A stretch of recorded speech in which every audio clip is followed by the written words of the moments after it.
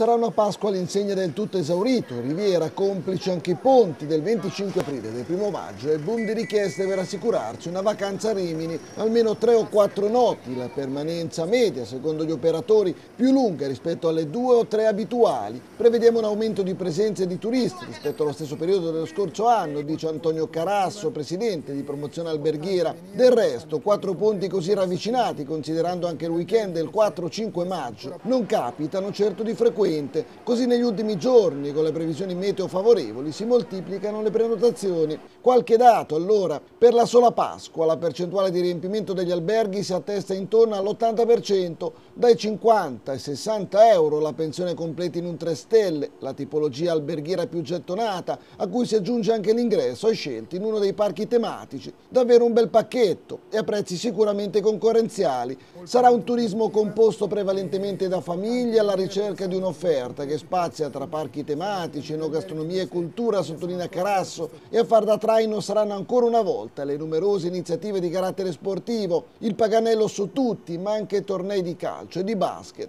Due settimane di ponti con la filiera dell'accoglienza già a pieno regime e con un'offerta di eventi di proposte uniche in Italia, dice il sindaco di Rimini Andrea Gnassi, che testimonia il percorso della città verso la valorizzazione della sua identità, della storia e della cultura. Il centro storico di Rimini si sta sempre più affermando come prodotto turistico di appeal per chi ama le città d'arte.